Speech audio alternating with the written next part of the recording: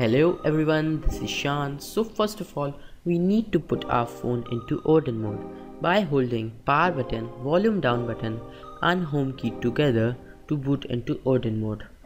Once you are in the Odin mode, you need to use volume up to continue. And now use a USB cable to connect your device to a Windows computer. Now you will be needing some files Links of the files would be present in the description below. So first of all, you need to install Samsung USB driver on your computer.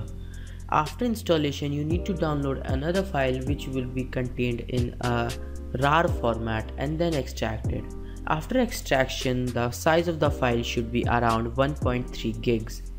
And now once you have eh, done everything, now we need to go on to the Odin folder and in Odin folder double click on odin.exe. Once it's open you should see a added message that means you have successfully connected your device. Now put a tick on PDA option and then tap on PDA. And now locate the extracted file. Now you should see a please wait message so yeah you need to wait now.